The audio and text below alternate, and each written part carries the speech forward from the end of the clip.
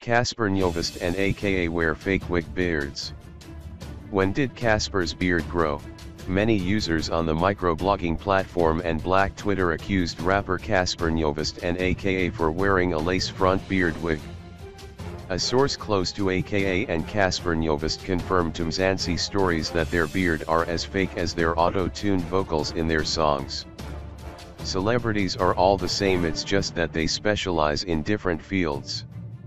Mshoza bleached Nicki Minaj has fake boobs and behind, Kanyi Mbau bleached and then aka and Cassper Nyovest wear wig beard like slay queens who are always in waves. I don't see a difference between women who wear wigs and this two rappers who wear wig beard.